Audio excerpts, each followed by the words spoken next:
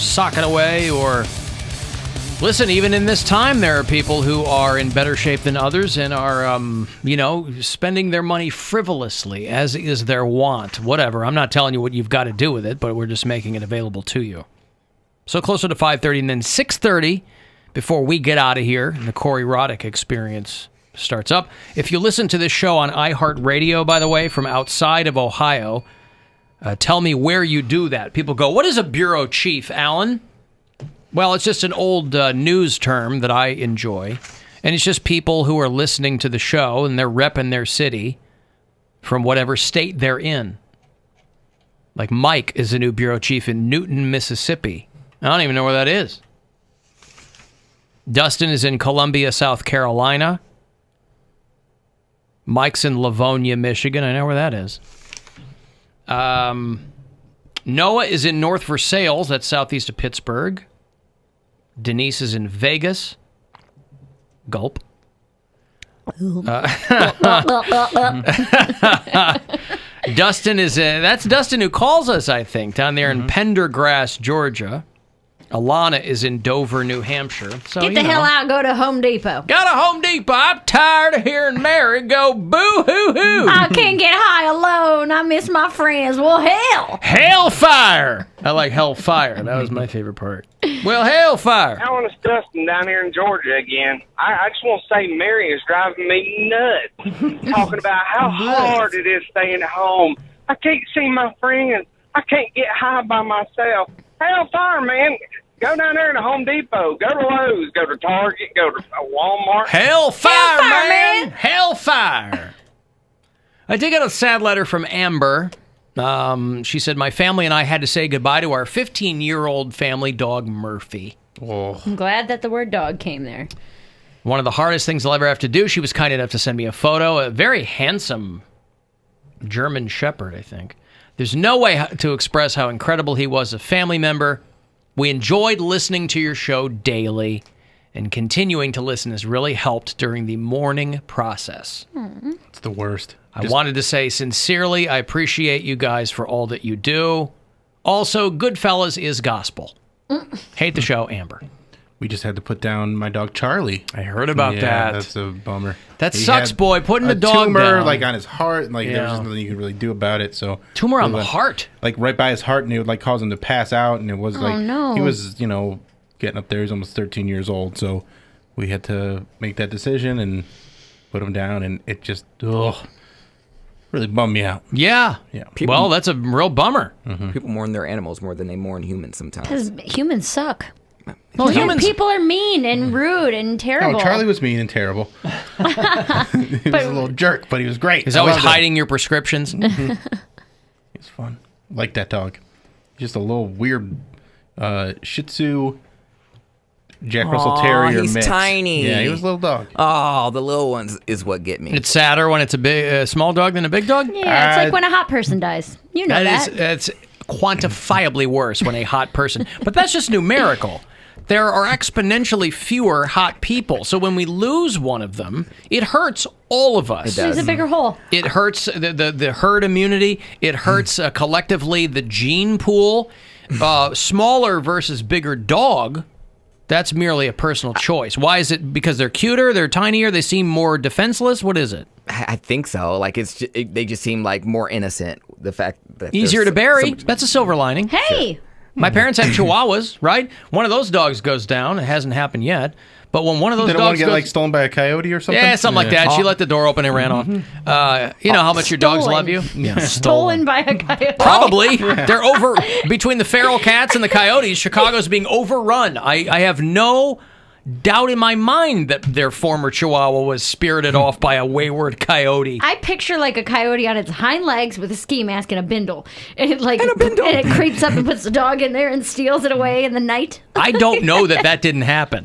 I don't know one of my how l- limber uh, these coyotes are. I just know that for a long time after that, my mom would go out for her nightly jog or whatever, and hoping to either see the dog or further down the road, figuratively speaking, hoping that she would at least know if like the dog's remains were somewhere. Yeah.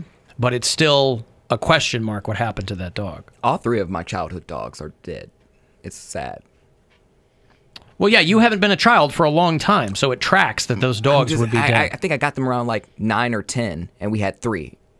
And I didn't get my first dog till I was 21.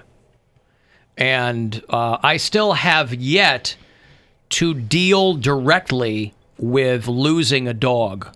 Yikes! Because your dog that you got then was with your Went with the ex-wife? no went with the Oh, went with girlfriend the at the time. okay. And the then you had the one dog the that ex-wife. I got with my ex-wife has since been put down. Yeah. Sophie, but she I wasn't there for that. Mm-hmm. She and my kids were there for that. So our dog now, my dog with Gwen, Juno. I mean, she turned nine in February. I don't know how long Aussies live. Uh, Uh, we probably don't like have it. we- 15 or so. There I you think, go. yeah. We, we don't. It's not like we have another ten years with her. so that will be the first dog that I will have to directly deal with, either ch- putting down or her dying. my childhood dog they he actually got injured and then had to be put down while I was in the Philippines. His name was Willie. Willie the was- dog. Yeah, he was cute. Willie. What kind of dog? He was a mini uh Sheltie. So he looked like a little tiny lassie. Oh, he was so cute. Uh, but then there was also my dog Nick that we put down a few years ago, and I was there for that one. Like we were Is that the super esophagus dog? yeah, mega, esophagus. and that one that one probably hurt more because with Charlie, I knew it was coming a little bit longer, and I wasn't there, and you couldn't even go into the animal hospital anyway because they're not letting people in. Oh, so I they would about just take that. them in, and then that's that. Oh. So Yeah. like I got to say, Yeah, say I went over and saw him and, and said my goodbyes, but for Nick, I was holding him. Yeah. When he went, and that was Oof. That I'm not looking- destroyed Oh, me. I'm sure. I don't know I'm if not can looking hold- forward to that.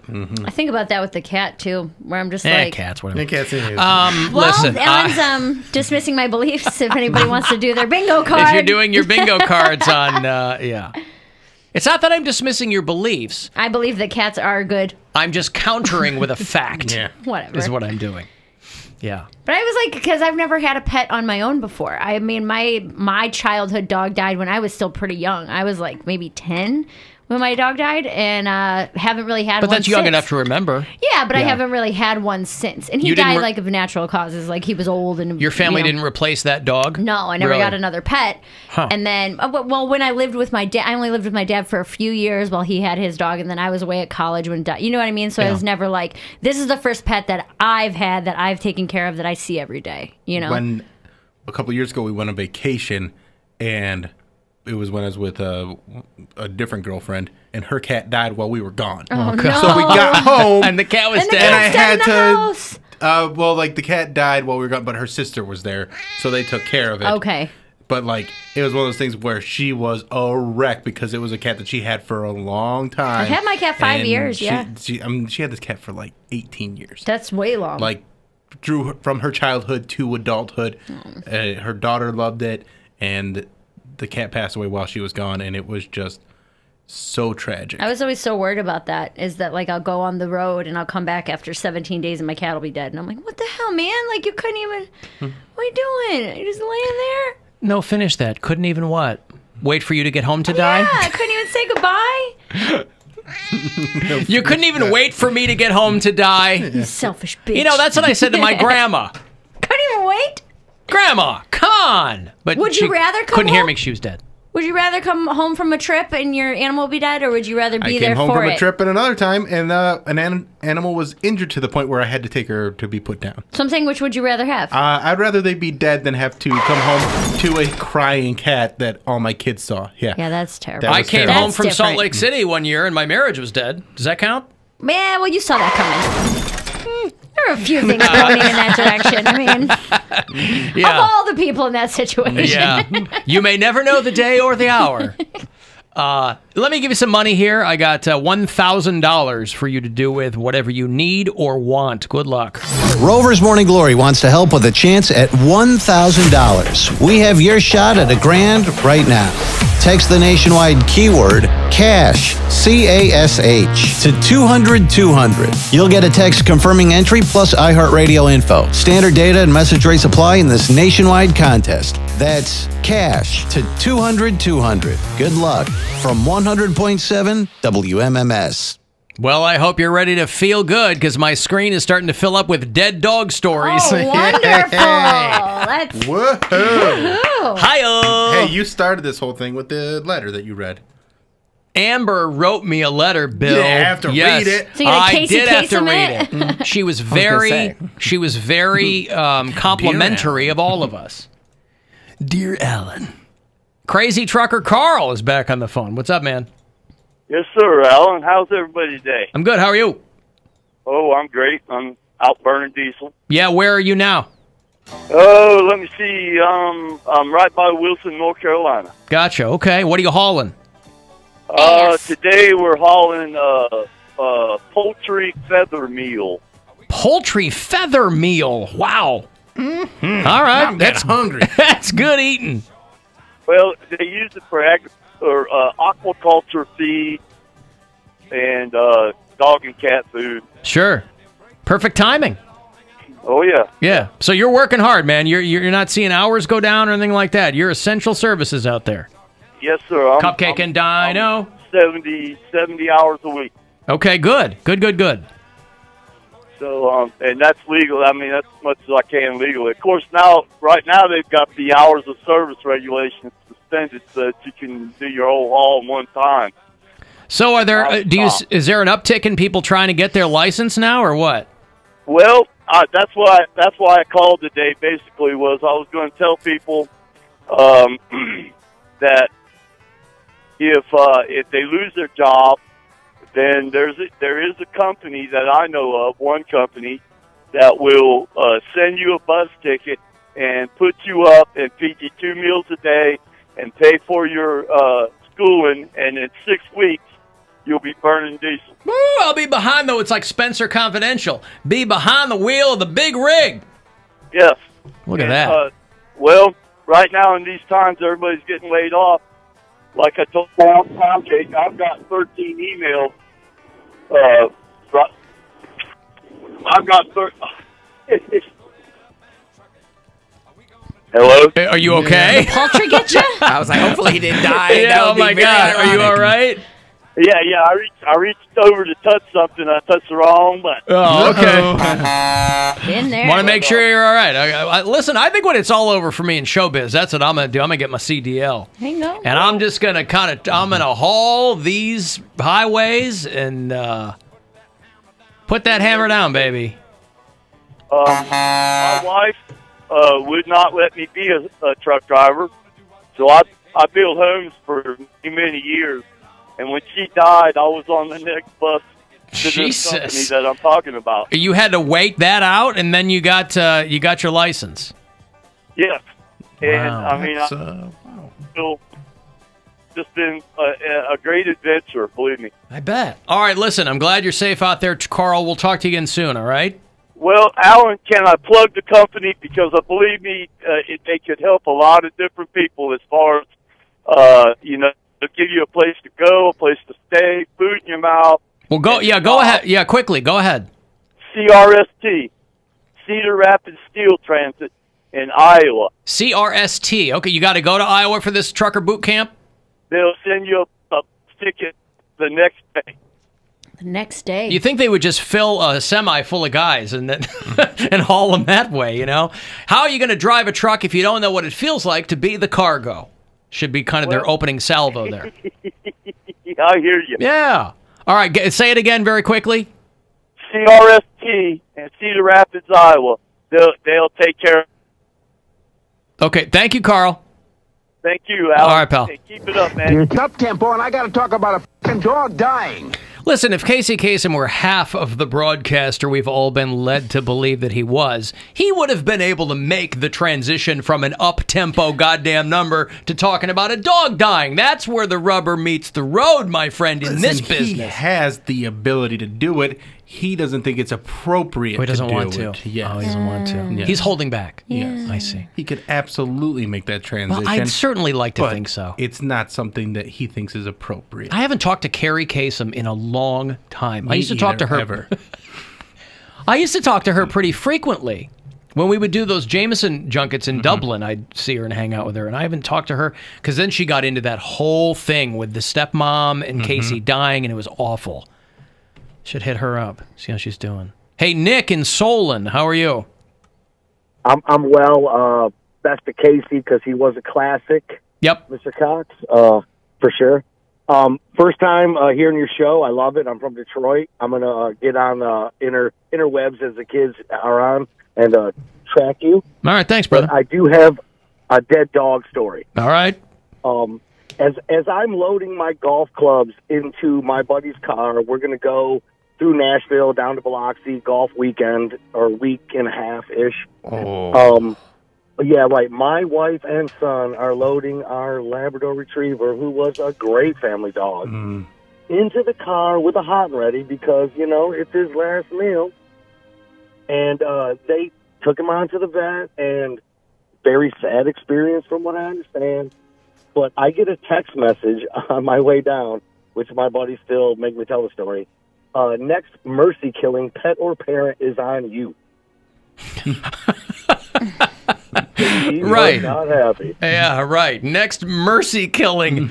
You're like, come on, pet. Pet or come on, pet. Yeah. Right. I'll you know parent. what? Yeah, her her father's eighty six and mine's eighty two, so my turn's coming up. I Oh, man. You- It's a roll of the dice, Nick. I'm I'm with it though. Hey, great show. All right, thank you, Love brother. it. Gonna follow you guys. All right, be safe back in Detroit. There's uh, Nick, who's on his way back home to Detroit. Uh, hey, Corey. Hey guys, how's it going? What's going on, Corey? Oh, just some horrible memories from my childhood. Oh, feel free to share them. Well, you came to the right place. Uh, one of my earliest memories, we had a Dalmatian named Speckles. I was maybe four or five. Um, I got to witness her get hit on the road by a tow truck oh. um, that was hauling a van, uh, so a lot, lot of wheels. And um, so we loaded her. Wait, wait, a tow truck that was hauling a van, so it wasn't just like one, it, it got doubled up on. Oh, man. Ah, I hate it. I'm turning this down. It's a lot of tires. Uh huh. Um, so we loaded them onto our favorite winter sled to take to the vet, and so then the next year we got the sled out for the winter. and I had to hose off all the old dog blood. So that Oh was my pretty cool. god. Um, went sledding that year. It was still fun. And then uh, about 10 years later, we had a beagle that um, got put down. We said our goodbyes, went back out into the truck. And then my dad came out carrying a trash bag, which was apparently our dog inside of it. They didn't uh, bury dogs there. So we had to take it home and bury it ourselves. Oh, oh Jesus. God. God. So You've had very bad luck, Corey, with mm-hmm. animals. Yeah, Did it have a a sled? lot of fun. Did what? They didn't have a sled for you to put it on? They just put it in a oh, trash Oh, I've got a bag? sled. Yeah, I'm Oh, oh, that's boy. terrible, man. Oh, Corey. Sorry to hear about all that. Yeah. So I'm going to go cry before I go to work. All right, oh, there you go. Hey, at least he's going to work. Hey. Good for Corey. You know, if you can have a cry while you're so gainfully employed, that's a good thing. And I got another one coming, another one being put on hold. Uh huh. Jeff, hello. Hey, Alan, how you doing? Good. This is Jeff out in Hudson. Hey, buddy. What's up? Dead dog story. Oh, Lay it I on don't me. want any more. of these. It's a dead dog Wednesday on the buzzard. the eagle. yeah. Well, the buzzard, you know, it circles around That's uh, carrion. Yeah. What's up? Second grade. Getting off the school bus. I go. The bus pulls away. I look across the street. My dog, German Shepherd, Judy, is across the street. I call her. Gets hit by a car. Taken out. Dead. Right in front of you. Yep. Joe D. Judy, D. Joe D.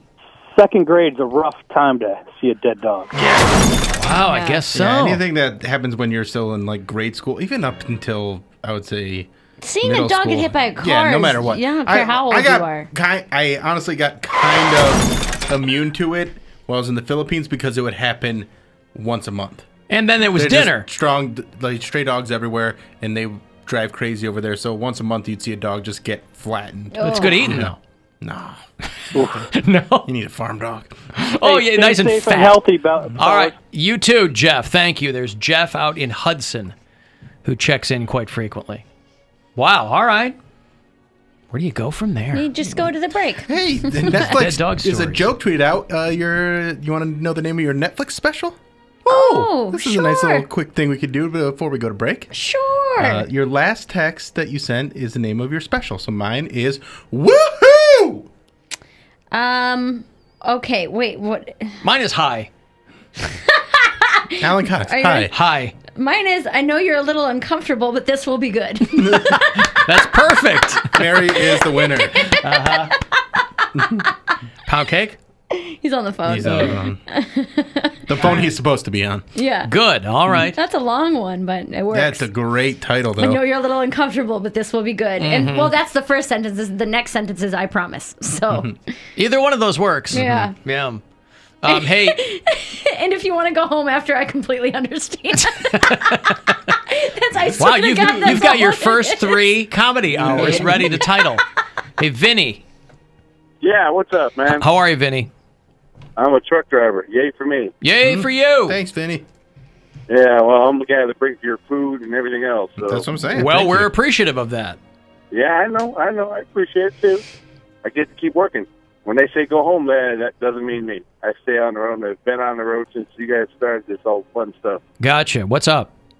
Well, um, I have two little min- miniature pinscher dogs with me, and they go with me everywhere. Yeah. I end up keeping them with me 24 hours a day, seven days a week. Yeah. They're my road dogs, and uh, a year and a half ago, I ended up putting have to put one of them down because of uh, he had uh, kidney failure. I don't know what the hell happened, but it happens. This is while you're on the road. Oh, yeah. Well, no, I, but I had to end up bringing him home to do that. Yeah. He was sick. He was sick, and I had to put him down, and I went and picked up another one. And how's that one doing? Uh, he's doing great. He's nutty as hell, just like me. All right.